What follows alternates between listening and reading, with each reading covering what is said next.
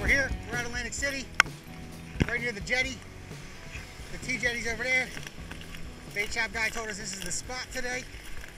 We're gonna give it a shot. My feet are soaked already. Weather's beautiful.